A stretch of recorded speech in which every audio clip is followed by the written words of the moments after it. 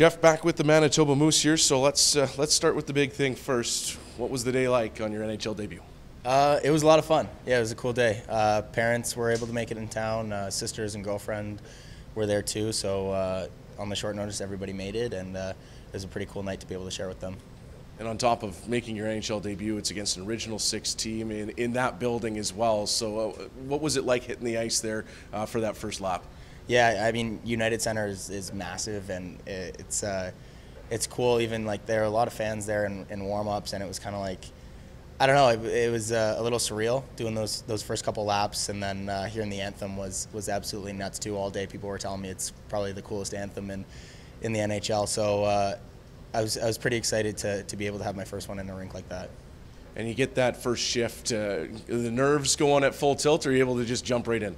Yeah, I think. Um, I think having a couple preseason games to kind of get some nerves out, and um, you know, with how quickly it all happened, I, I, I, don't know if I had a really enough time to process that uh, I was nervous, but I kind of just hopped out there and tried to make sure it was a quick one on the first one, and uh, it was cool getting back to the, the bench and kind of some of the guys saying, "Hey, like, welcome to the NHL" was a was a pretty cool moment. So. Uh, yeah, I don't know if I had enough time to be nervous, but uh, was definitely excited.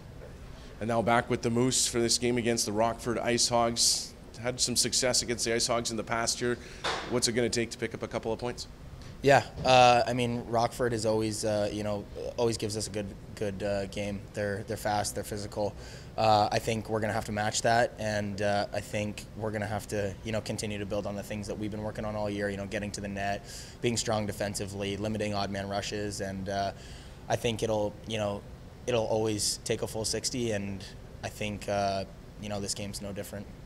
Now, as if bouncing between the two teams, getting your NHL debut in wasn't enough, the NHL trade deadline happens during the whole way, and uh, some big news comes across as Morgan Barron joins the team, a, a, teammate of yours from Cornell. What was it like when you heard the news?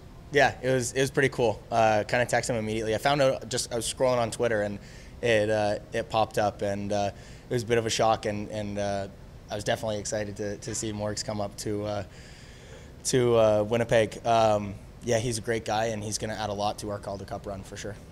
Now, you guys were co-captains back in Cornell. So, what can you tell us about the big forward joining the team? Uh, just that he's he's big, he's heavy, he wins his battles. Um, he's someone you can rely on in all situations. And uh, like I said, it's it's it's pretty much perfect timing to get him for this playoff run because he just adds, you know, uh, so much value for pretty much every asset of the game for us.